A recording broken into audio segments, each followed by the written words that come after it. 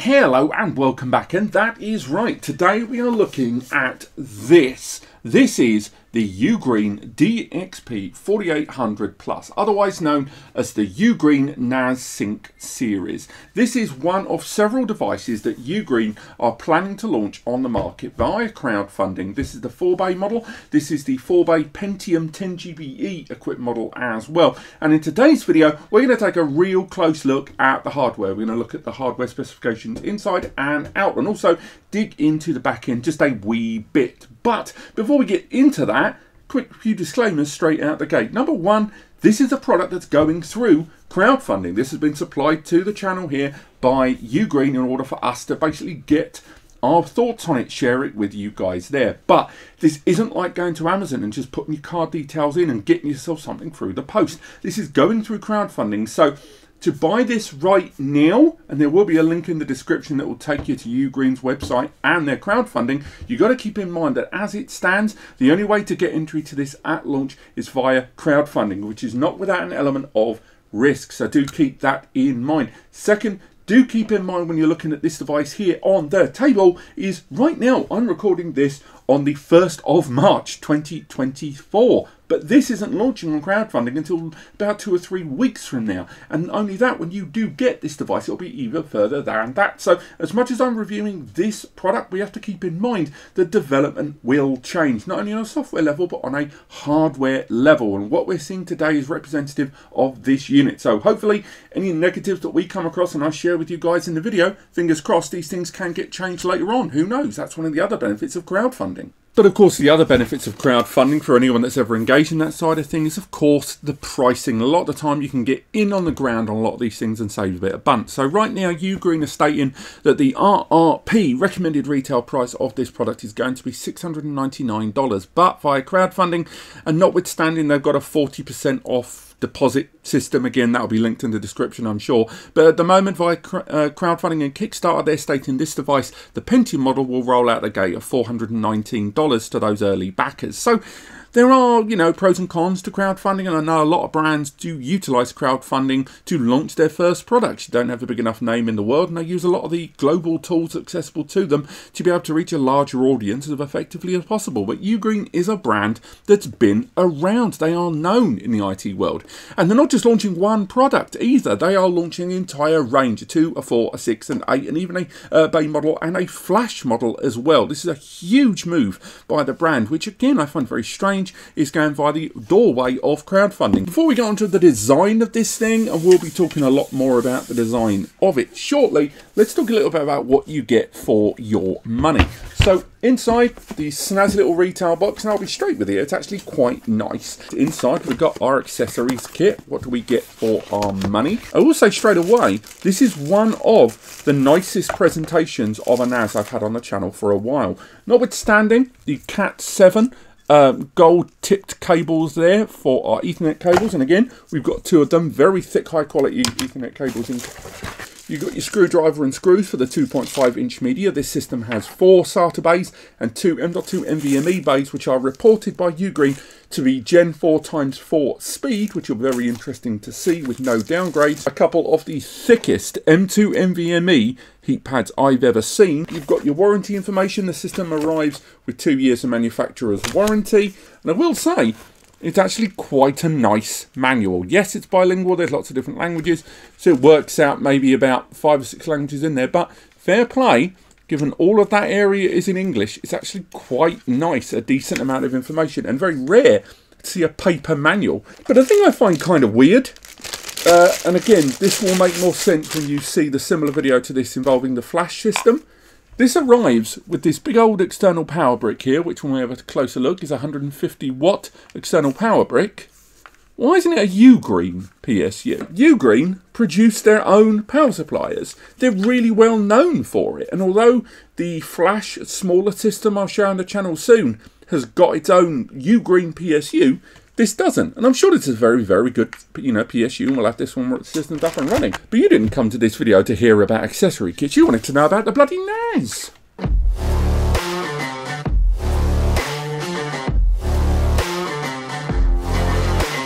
So let's talk design. Straight away, I could show this more to the camera here, but as you probably already worked out, we've got this lovely close-up camera here that we're going to be utilizing throughout the course of this video. Now, given this is a big metallic box, and this is just a big metallic box that arguably is in a sea of other big metallic boxes in the market, fair play to them. They have gone and made this quite unique. That nice, bold, almost Fallout Vault level uh, text there on the front. Each one of those bays being lockable, I might add as well. Also along the bottom there, let's not overlook it. Not only have we got a couple of USB ports, and again, those are 10 gig USBs. Those USBs there in Type A and Type C. Lovely stuff there on the front.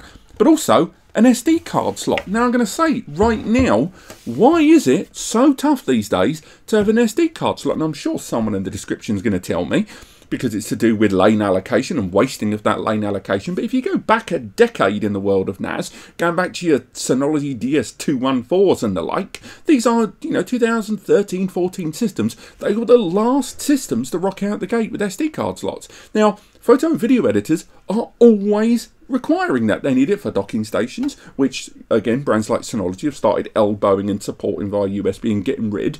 But on top of that, just having standard SD card injection is actually surprisingly useful and it kind of blows my mind that I now in 2024 I've got to talk about a crowd-funded NAS from some brand's entry product and say how good it is to have an SD card slot in 2024. But um, moving forward, we can talk about the outside. The outside is completely metal all the way around. And again, there is no ventilation on the top. It's relying purely on horizontal ventilation throughout the whole thing. Some very brief noise testing on this device. We had a decibel meter via a phone connected via a Bluetooth mic. So there's an ever so slight fraction there uh, between the noise and what's being reported there, fraction of a second. But uh, initially, let's listen to the idle noise of this system while no activity is happening.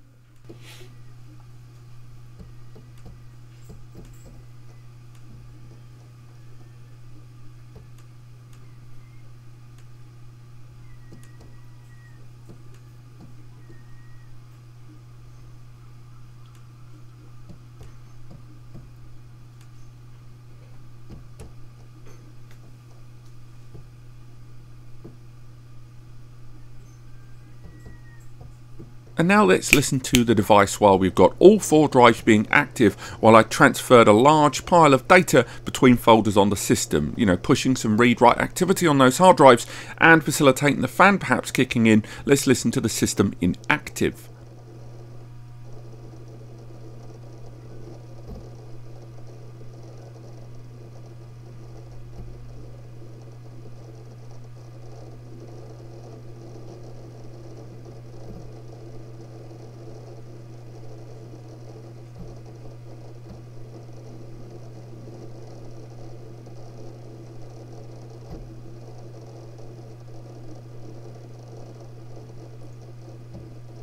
So noise level wise, not too bad. I'll be honest, obviously using a microphone in a YouTube uh, clip here is going to enhance noise ever so slightly, but I'm quite actually kind of pleased with what I'm seeing here in terms of audio levels there. Considering this is a metal chassis that's being utilised for heat dissipation throughout, I'm not too browned off by the noises I was hearing there, and particularly because I was using enterprise class drives there at 10TB, we have to also acknowledge that the drive noise was forming a decent whack of the ambient noise of the system when in operation. Let's head back to the studio. On the base of the system, we've got this pad here, and this is where our memory modules, and the um, M.2 NVMe modules are located there at the base. If we look at the rear of it, one of the other little design choices I like, because again, as mentioned, it's using horizontal ventilation, but I like this. Now again, much like the SD card slot, giving them tremendous praise for a vent panel on their fans that's magnetic. Gaming rigs and normal bog standard PCs have had that for years, but it's the idea that none of these guys over here these days in 2024 are arriving with these very, very small quality of life improvements, and I really, really like that. We'll get on to the main ports there on the back in just a moment. But for all of my heavy praise, I want to talk about something on this box that I'm not actually that pleased about, and that is the trays. Now, let's, you know, start positive. They're nice enough trays if I bring that there to camera there. They're nice, big, bulky trays. They don't require a screwdriver. They go straight in. The click and load drives there inside and spring loaded there at the top. And the trays themselves do have a locking mechanism included there. So lovely stuff. The one I'm not overly keen on is the one they feel very plasticky. They do not feel particularly sturdy. And when I try to remove and insert our drive, it's done via this outside system here where we take our drives. These are one of the four WD Red 8TB Pros that we're going to be utilising uh, in future testing with this system. You align it with the holes on the side and you push in that panel there. It just doesn't feel very secure. Now, it holds the drive in. The drive's held. It's absolutely fine there. But the tray itself, for all of its good looks, and I like the bold fonts that are being utilised on this, it just it, it doesn't feel very sturdy, this tray. And I know that's a very minor problem, and you have a lot of users that are, you know, never going to be hot swapping drives too much in the future anyway. But still, nonetheless, I'm kind of surprised that the trays themselves feel as flimsy as that when the rest of the system genuinely feels remarkably sturdy all the way through. And I like, again, the ventilation is going to work all the way through. So if we remove each of those individual trays, pop those out and take a good look inside. I'm hoping the light will allow us to see more there. But you can see inside there, the rear of the system, we've got that big rear mounted fan, just a single rear mounted fan. But overall, I'm really pleased with this. This feels sturdy. It feels very well put together, I will say as well. And overall, with the exception of my niggling complaints I have about these trays, overall, I'm really, really impressed about that physical design. Now, when we're accessing that rear panel there, we can talk more about that storage. The system rocks out the gate, by the way, with traditional RAID compatibility there. So unlike a few systems uh, we've talked about recently that do not have RAID out the gate, we're of course talking about the ZimaCube that arrived with the in development ZimaOS, uh, which has just rolled in uh, RAID support, I should add. Uh, this does arrive with a lot of those features straight away already ready. Now, this video is not going to include much on the software. I've already kind of alluded to that in other uh, other areas because the software is still very much uh, mid-alpha beta at the moment. And although the mobile app will be launching very, very soon, the actual graphical user interface via the web browser is not really quite there. And although I've utilized it, it could still do a lot more work. So you'll see it a little bit more in the, later in the video. We can see there what's going on inside. We've got this nice Ugreen branded panel there. And again, presumably this is a, um, a sister board there that's a sister board for the main storage drives going into the back. But at the bottom there, we have got that 8 gig of DDR5 memory there. Now, that 8 gig of DDR5 memory is combined with that Intel uh, Pentium inside, which supports up to 64 gig of DDR5 memory there. I'm not seeing any support of ECC, there's the usual on die stuff. Um, but what's really intriguing is our two M.2 NVMe slots here. Now, those two M.2 slots, let's angle that there for us. Those two M.2 slots, they are Gen 4 times 4. That means each one of them has theoretically the bandwidth to saturate 8,000 megabytes per second realistically. When we're looking at Gen 4 drives on the market, the ones we're going to be testing later on inside this system are an Addlink 8TB, because I want to know if this system supports 8TB Gen 4 drives. I'm also going to be utilising uh, Seagate FireCuda, uh, a 530 drive, that's a Gen 4 times 4 drive, capable of hitting 7,300 megabytes per second, according to Seagate themselves. Obviously, block sizes are going to make a big difference there. What I'm going to be really interested in seeing seeing is what's going to happen with this system, and we've got it connected up and we populated it with hard drives and SSDs. I want to see, one, whether those individual drives are going to actually hit that performance number. Now, um, and two, I want to figure out if, when we're utilising those NVMEs, to what extent can we use them.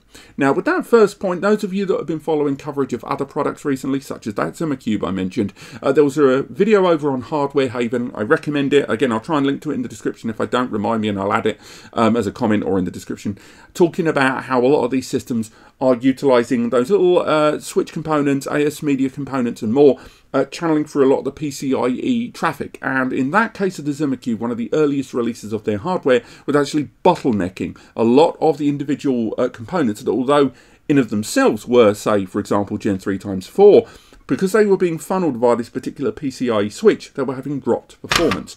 This is a lot of storage here, and there's only four SATA drives, so we're not too worried about that.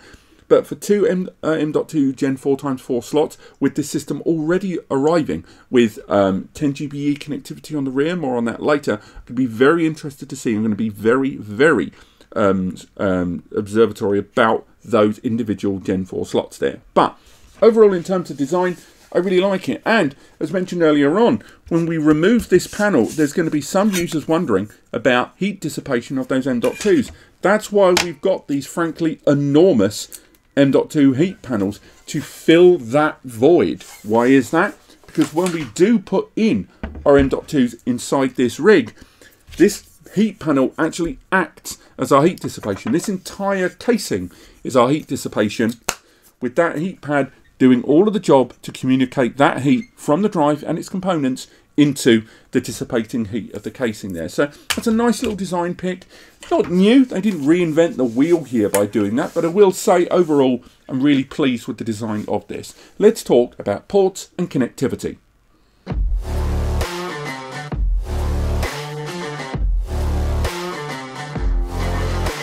Now the ports and connectivity on this device, again, for its price point when you're looking at that early Kickstarter launch price of $419, are actually pretty impressive when you compare it against the majority of other devices in the market these days. To put that into perspective, uh, when you're looking at systems right now, and even if we go with the RRP of $699 uh, that Ugreen are stating for this device when it hits full normal retail, uh, for 699 you're getting a 4-bay device that not only features 10 GBE, so 10 gigabit Ethernet out the gate, but it's also got an additional failover of 2.5 GBE. So you've got one that you can utilize for your standard editing and your high density workflow, and you've got an additional 2.5 gigabit network port there that's going to be utilized for the general shared network all rolled in. Alongside that, we've got a couple of USB Type 2 ports there. Now, I've already delved lightly into the software utilizing the DXP480T. And I'll say right now, I didn't really see any KVM stuff there, so I'm curious what these USB ports are going to be used for. Perhaps a UPS battery. There was support of an uninterruptible power supply, uh, supplier um, integration into the software. But alongside that, we've got another USB port there uh, connectivity. I believe that one might be our 5 gig USB port. I'll have to double check there. I know uh, the front ones uh, are slightly different to the back. And of course, we've got an HDMI output there, which is a an HDMI 2.0, I believe, or 2.0i. There is talk about some of the higher, denser, more powerful systems supporting 8K multimedia. I think this is the 4K model. And of course, we've got the barrel there for that external PSU that we've already talked about there. Likewise, when it came to power consumption on this device, I do think there is room for improvement. It's not terrible, and my methodology with regards to testing the power consumption wasn't exactly what you would call cutting edge. But nonetheless, even while uh, the initial boot of this device did result in a high peak which came down. The power consumption, I think, does leave a little bit of room to improve there. And again, how much of that is to do with the optimization there in the background by Ugreen and how much of it is to do with the base level hardware Again, we'll have to find out more as later development on this device happens. Remember, this isn't the device that a lot of you are probably going to be getting if you do go ahead and back this crowdfunding. Uh, moving away from the idle power consumption after the boot, after a few minutes, I went into an active process where I was getting the drive to sort of ramp up and do some defrag and the power consumption went up a little bit there but not too much. Overall i'd say the power consumption still isn't terrible but it still could be better. So in terms of connectivity, once you combine those rear ports with those front mounted ports, we've already talked about, the LEDs as well, uh, for a little bit of indication, no LCD panel, I'm kind of pleased with what we're seeing. At 699, um, once you also factor in the Pentium internal hardware that we'll talk about in just a moment, I'd say overall I'm quite pleased in terms of ports connectivity about what we're getting here for that price. Again, we are still talking about crowdfunding. We've got to be playing fair about this. This is not your standard retail product, and we have to look at it in that fashion. Nevertheless, we are still talking about a fairly well established brand right now that's putting a lot of their reputation and weight behind this. And at 419 or 699, you'd be very hard pushed to get better hardware than this um, externally and internally right now at the start of 2024.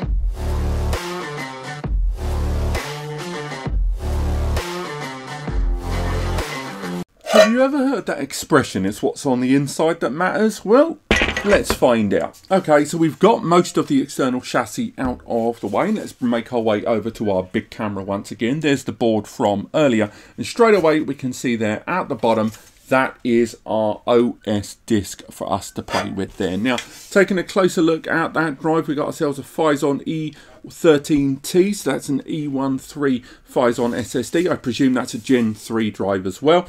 And looking at the hardware architecture, if this is anything like uh, the DXP 480T, uh, then that is going to be a Gen 3 times 2 drive, something we'll find out more when we deep dive a little further.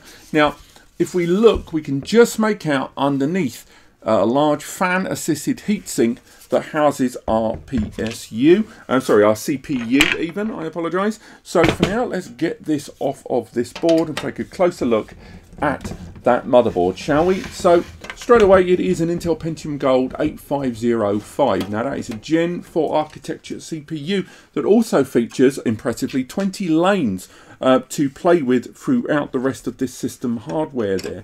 So there's a lot to be getting on with and when you look at some of the higher denser i5 models that are flying around they are 20 lane CPUs as well which is quite impressive as well that this Pentium has at least got that backbone with us to work with. Um, now it's a 5 core CPU something I find very very bizarre I might add because I don't think I've ever had a 5 core CPU. Also on top of that it is a 6 thread CPU so um, of those cores by the way, that's one power for efficiency. And looking at my notes, it is a 4.4 um, gigahertz CPU when needed. It also arrives with 1.1 gigahertz of integrated graphics as well. So again, that's your Intel graphics.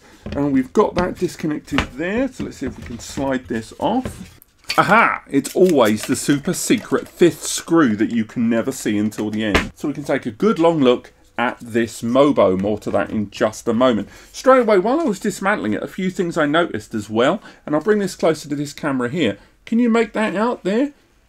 It is a Ugreen stamped controller there for the SATA board there. Again, the only reason I bring this out is we've talked about a lot of um, mid-range turnkey solutions in the last 12 months, trying to compete with the likes of QNAP Synology and the rest, that are rolling out their own solutions, but generally aping and reutilizing Topton and CWWK and the like for a lot of their hardware architecture. A lot of this is first party branded. I've got to say, again, all of my negative remarks about the PSU earlier aside, I really like the production and the build quality of this thing. It has been exceptionally well put together, and I would argue comparable to the likes of Synology and QNAP. I'm just going to pop the cage to one side, because let's face it, what you came for now is that main controller board. Let's get that nice and big there for you guys. There on the rest of the board, we've got the connector that the SATA sister board is going directly into. Again, highly comparable to likes of Synology and QNAP there. A good arrangement of chips and boards here. I'm going to have to do a little bit of closer investigation, I might add,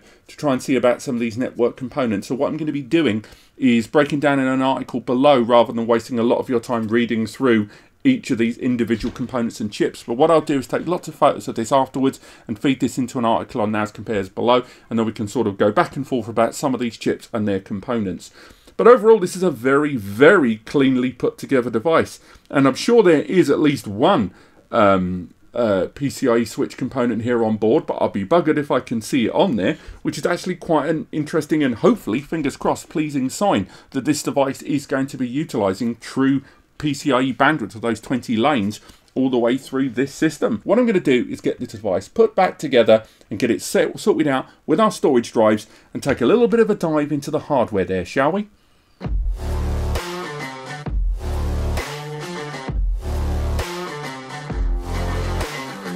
So moving over to the software of the DXP 4800, we've got to keep in mind that this is of course a beta. Currently this is going to be looking at version 1.000483 of the UGOS or Ugreen operating system for NAS here on this system. I am working on in the background a full dedicated video just on the software deep diving on the whole thing. Alongside that, uh, about four, four and a half thousand word article going through all of the features, what I liked and what I didn't like about the software, hopefully coming very, very soon. But for now, we're just going to kind of skim over a lot of this beta software and once again talk about what I liked and what I didn't like.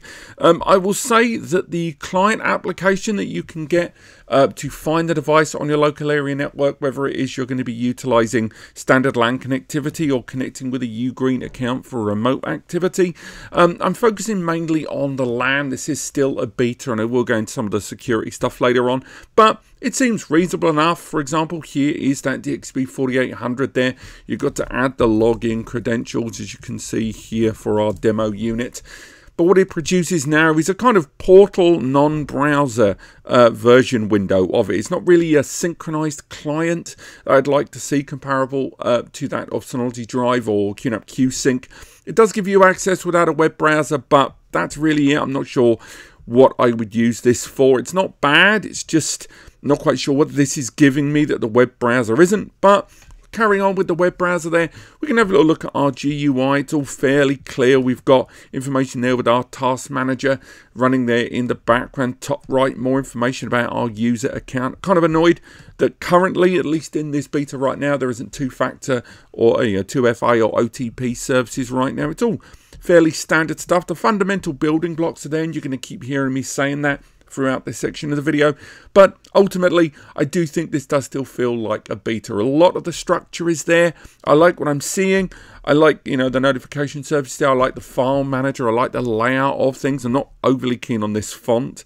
But apart from that, I'm liking what I'm seeing here. Um, if we make our way into the storage manager, for example, there's the layout of all of our data disks there. We've got the main hard drives and the M2 NVMe base there. We've also got this really nice widget system as well. I quite like that. For example, let's get some volume status information there. And it'll just add all of these widgets as we need them. And we can add them all the way along as many as we like, telling us more storage information about the system.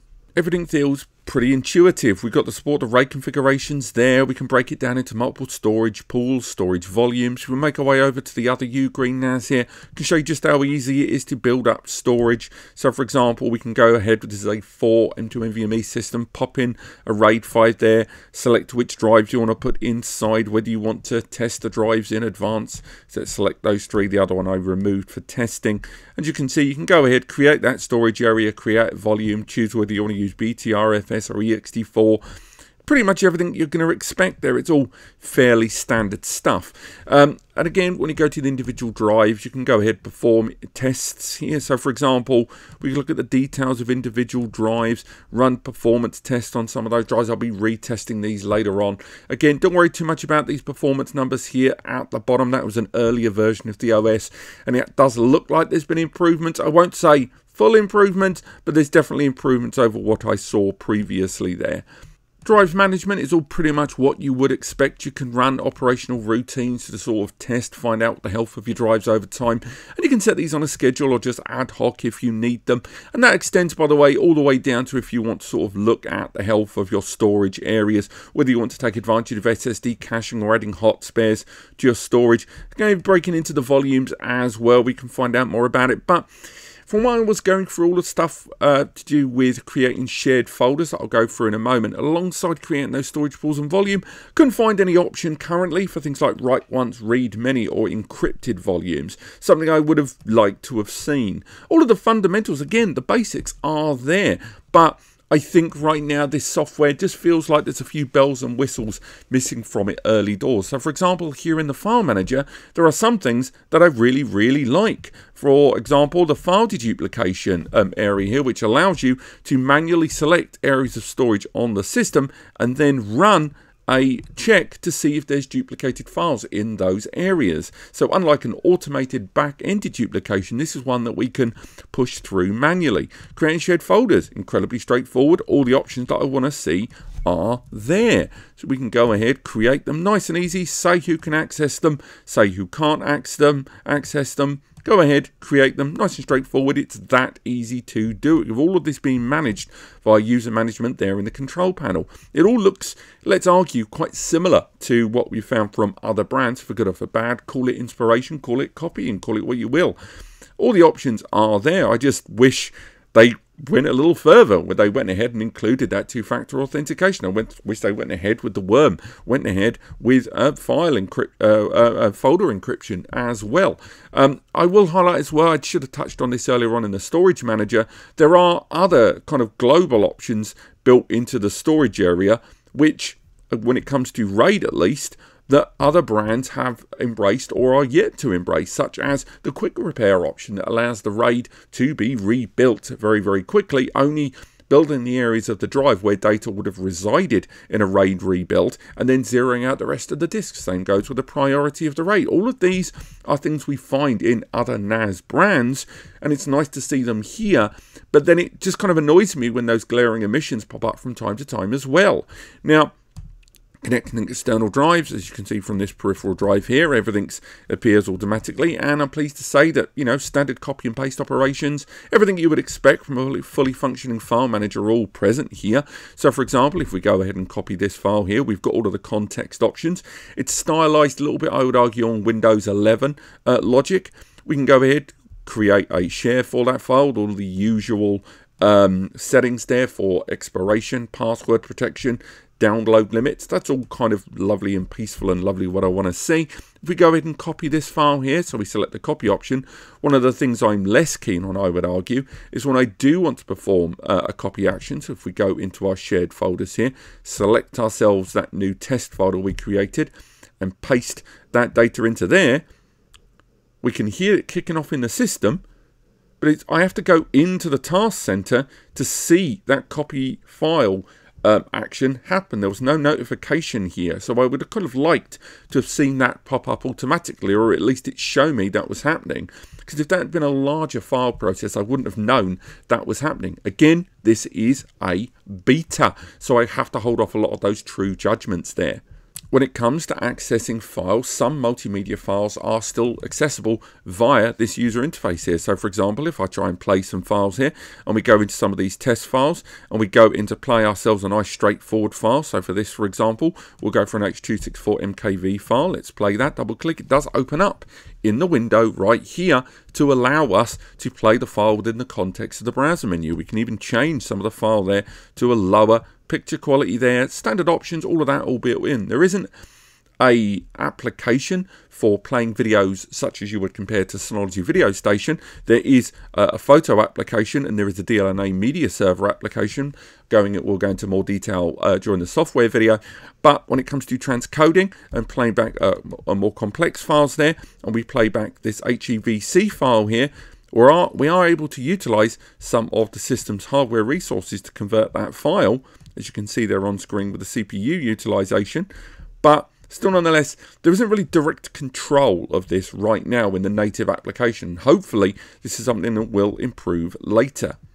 Photos on the system are again openable via the file manager there. So if I go ahead and select ourselves a nice straightforward photo here and we double click that, opens up nice and easy. And if we right click to find out more properties and information there, we can find out a little bit more. We can share the file if we choose.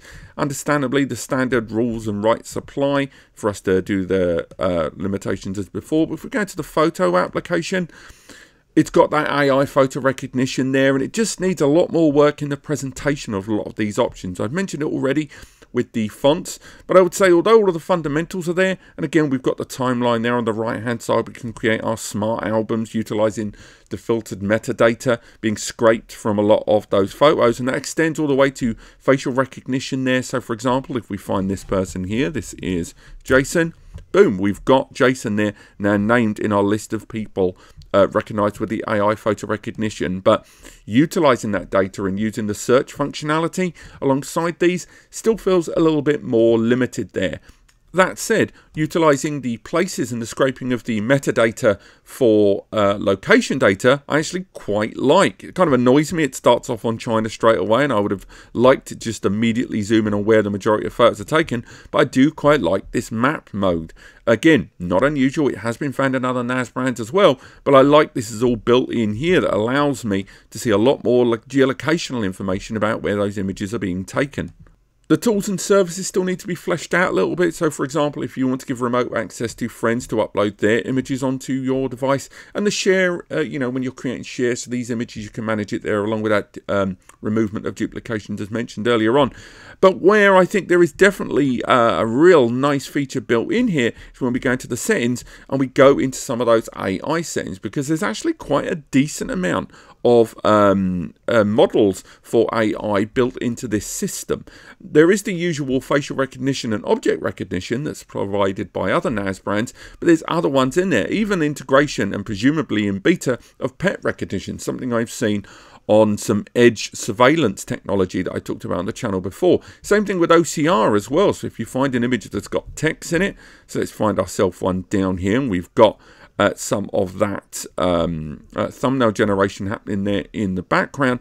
If I select, for example, this image here, and we use our text generation, we can see that it is utilized the scanning there, and it's are there on that board game for Home Alone. Merry Christmas, you filthy animal, Home Alone, the board game zoom out there because we've accidentally gone in and we use the OCR reader, it has seemingly found the majority of it. This isn't a great example because it's using cursive writing, but at the very least it was still able to find and use that OCR reader to garner that information. Now, when it comes to uh, finding out a lot more of the metadata on these images, and we we'll need to find ourselves a much larger image there, I'm pleased to confirm that you can go in and get some of that metadata there that's been scraped with regards to the aperture, the ISO, all the stuff to do with those images there. Moreover, if you want to go ahead into folder view, I'm pleased to confirm that you can use folder view rather than utilizing that big control deck there and that large sprawling show. Again, nice stuff. One of the things I don't like, however, though, and again, this is something we've criticized Synology for in the past, is the default media location. There is no means here to change this. And even though I went through the control panel to find, and find out more about changing the indexing and find out exactly how I could change that, I couldn't find any option to change where those uh, directories for photos were being kept from. I can understand with so many different AI models being built into that photo manager. They probably want to use default storage locations for photos, but it's just kind of annoying that I need to store photos in that personal folder photo location when there's every possibility that I want to be utilizing my own directories, particularly for shared folders and multimedia. Searching the system can be conducted easily here from the top. So for example, if we do a very quick check, we're able to search for files by that file name and then you can actually expand into the universal search to find out more. And again, that can be extended across the whole system, but of course it will depend on the kind of file you are finding there but you can cut through and that universal search is pretty darn responsive. Obviously that is going to be dependent on the indexing happening in the background, but it's still nice to have that feature built into the desktop there for those coming off of things like TrueNAS Core. That's going to be quite a nice intuitive user-friendly uh, service browsing that control panel, it does seem a little simple. I would have liked to have seen a kind of easy slash advanced switch here at the top. It's not bad, but it's just going through the options very, very quickly. You're able to see that the fundamentals are definitely being nailed down with SMB being enabled, but everything else from rsync to WebDAV to FTP and more all being disabled, which is probably what I want to see. Annoyingly though, I did find that SSH was enabled by default. That said, this is a beta. It wouldn't surprise me if for troubleshooting that that was enabled by default but disabled when it rolls out the gate. We'll have to wait and see. Everything within the control panel, we do go into way more detail on this when we go through the uh, software review. Um, is all pretty much there, everything that you want to see. And if we go through the hardware and the power, you've got the buzzer, you've got the fan control, you've got support of the um, scheduled uh, boot up and boot down, UPS support there. You've even got a really nice feature built into the LEDs where you can set a schedule for those bright white LEDs to be on and off on a schedule, not just a system, but also with the fans as well. Nice little systems, little quality of life improvements. Although I will say again, not to be a downer, but with the language, regardless of the fact how many times I selected English, occasionally Chinese notifications would come through. Again, it's a beta. When it comes to security on the system, I would say things still need a little bit of work. I'll say straight away that lack of two-factor authentication I mentioned earlier really bugs me. On top of that, although I've got network management and I can, you know, adapt things from a static to a manual and set my own uh, configuration controller as well as setting up remote access if needed using uh, the uh, Ugreen uh, relay service there, and the firewall options are there, the certificate, adding my own custom certificates, everything's there, auto blocking IP for people overhitting it. The fact that um, updates are set as um, automatically install the updates by default, everything's there for me, but there's just a few little holes along the way that I don't really like that for example, the Security Manager. Security Manager is included with this system. As you can see, I'm using that real-time protection. And if I wish, I can run a quick scan if I choose. I can do a custom scan for certain databases and what to do if suspicious files are found. I can schedule a scan. I can find out the records of those scans, the logs, all of that. I can even, you know, put in preemptive measures. But what this doesn't do is filter through a list of system security because realistically, viruses, although people do hit NAS systems with viruses and malware, that's not really the most popular form of attack NAS face. That is ransomware. And for that, I want a security manager that scans my system to tell me my passwords are weak, my ports are open, my ports are default, and my two-factor authentication is off. My I've enabled SSH when I don't need it. Those sort of things that prevent you know, someone injecting a line of code encrypting my system and forcing me to, you know, blackmail me into giving a code. That security manager seemingly protects me from malware and viruses, but less so when it comes to, you know, injected um, uh, malicious code via attack vectors. I know the log center is there to give me lots of information about what's going on in the system and I can set up automatic notifications based on severity for me to receive them and indeed when I go into the user management panel I can assign more contact information and be reached out in multiple ways to find out more about what's going on with the system and be alerted when things are going wrong. The security tab as mentioned does give you varying levels of protection from brute force attacks but I just wish there was a lot more there in terms of anti-ransomware protection. It's a beta. These things do take time. I get that, but I would have liked to have seen those fundamentally installed very early in this beta. Backup, synchronization and restoration on the system is pretty good, but still very much in development. What do I mean by that? Well, within the App Center, and again, there's only about 15 apps currently listed, some of which I would call default level apps. Um, sync and backup utility there is still kind of largely hinged on the utilization um, of taking advantage of that version manager there as well. So you've got a separate version manager uh, that got, runs through uh, individual folders that you've connected with use in sync and the backup manager there which allow you to sort of you know revert files back to an earlier version. You can back up uh, files and folders from this NAS onto another Ugreen NAS or another NAS utilizing rsync with other features and other uh, services being added soon there isn't really any synchronization with a cloud platform currently, which kind of bums me out a little bit there, whether it is for adding and mounting cloud storage or just adding it as a synchronized target in either direction from the NAS. The controls, they're a little bit rudimentary. Hopefully, they will get expanded upon. As I mentioned earlier on, when we were talking about utilizing uh, the uh, client tool for when we were connecting with the NAS, I kind of wish this would be integrated in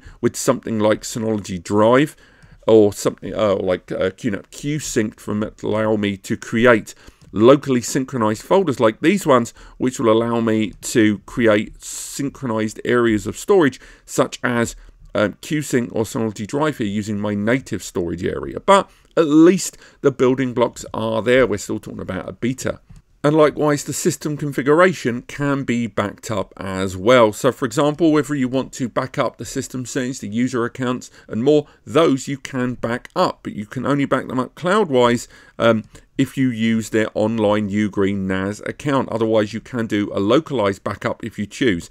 And again, you can restore a backup that you've created of those system settings, but remember that is not a full data-based file folder backup. That is where you will have to utilize um, that um, sync and backup tool we mentioned earlier on. Again, resetting network configurations, resetting system configuration, I think could stand to be presented a little bit more clearly. Again, it's a beta, blah, blah, blah. Overall, the UGOS software, I can see the fundamental building blocks there, but it still feels like a beta. And, you know, they're not hiding that. This is a beta. Everything is kind of needs optimization in places. I think a lot of the applications and services are still very much in their version 0.5 state. A lot of it you can see where they're going, and I can definitely see why this brand is perhaps saying that this system is not going to be ready until much later in the year, whether it is for crowdfunding or just overall um, retail sale.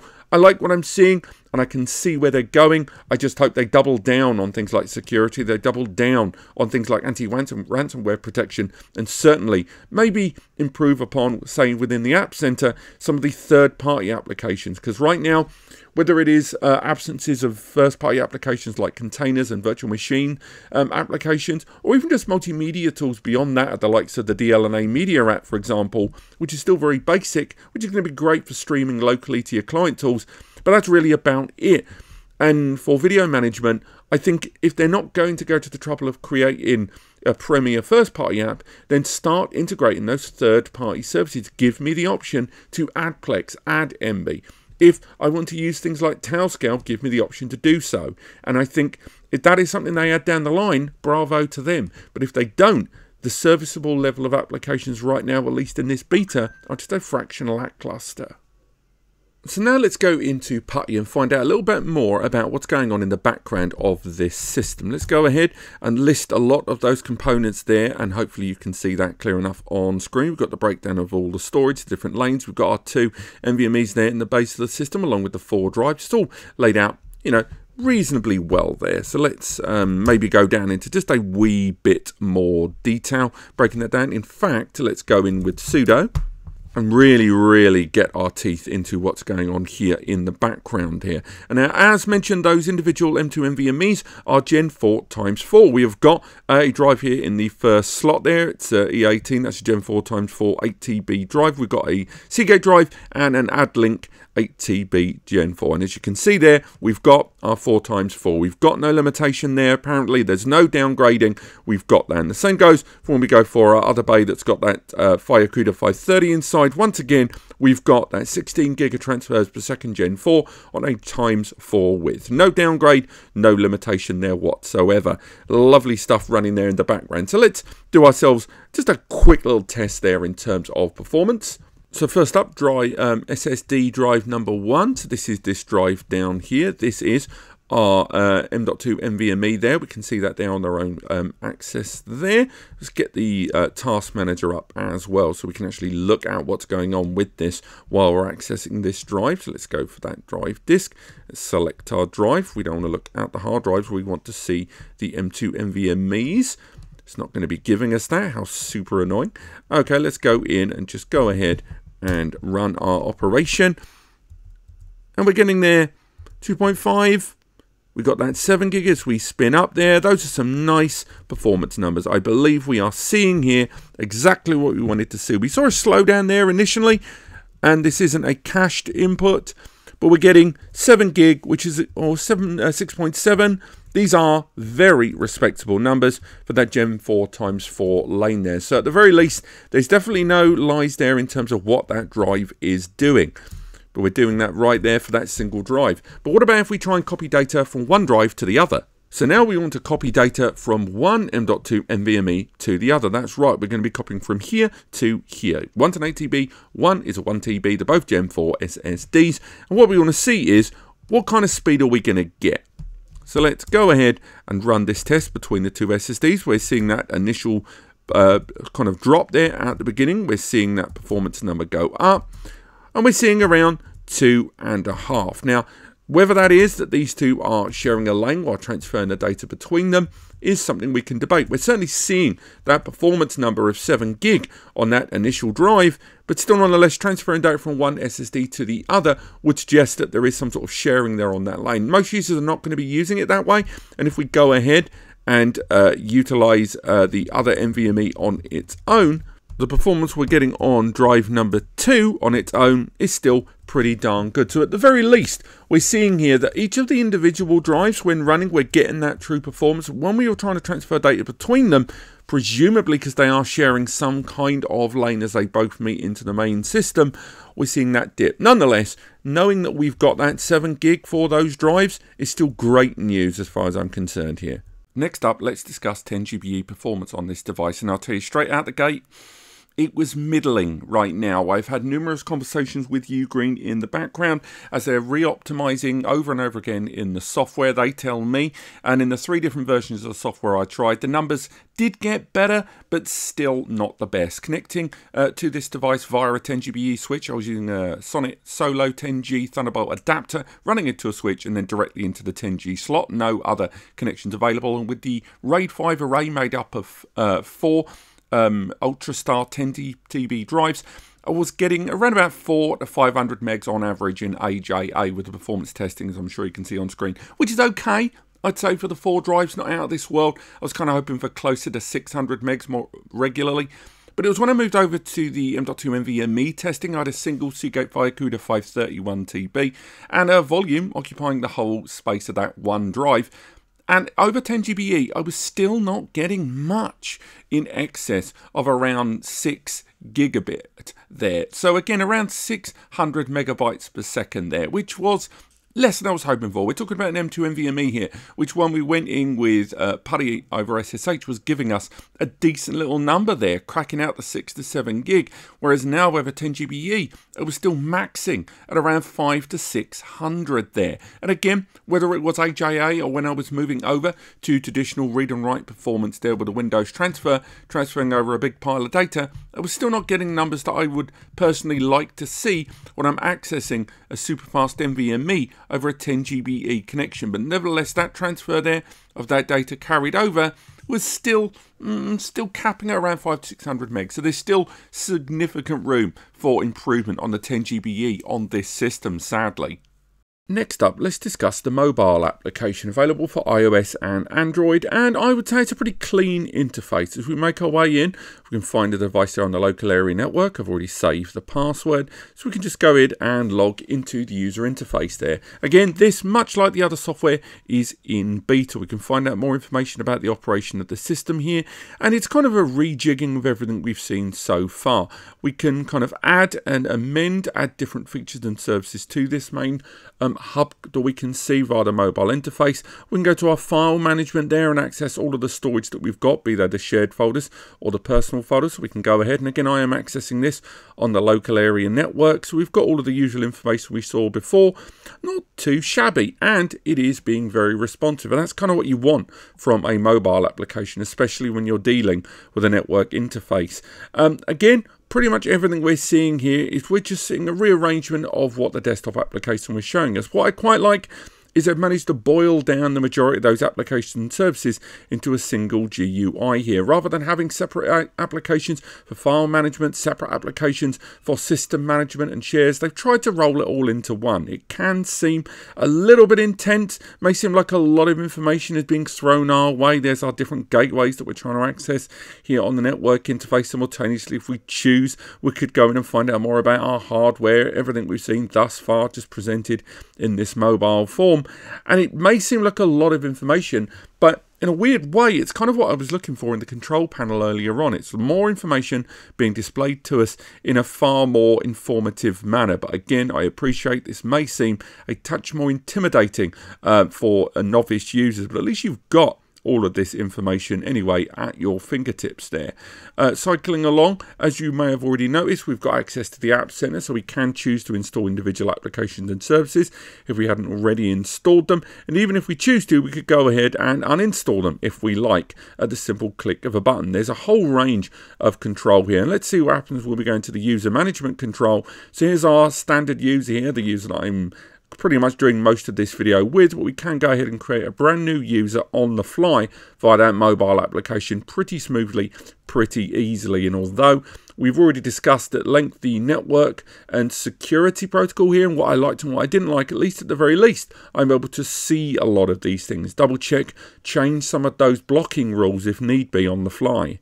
Now, what about phone backing up? That's the other reason why a lot of you are going to go ahead and install an application like this on your mobile. Well, there's different ways and means here. If we make our way to the bottom left there into the sync and backup, we can see my Google uh, Pixel 6 Pro here, and we can choose if we wish to start backing up our photos. If we choose going in there, we can find out um, while giving the application permission, we can choose where exactly we want the photos to be backed up onto the system into their own preset directory in the personal folder or select custom folders if we choose. But keep in mind that by doing that, if you go into the wrong folders and we change some of those paths outside of the personal folder, and I'm not entirely certain you can, you're not going to be able to access it on that Photos application as discussed earlier on.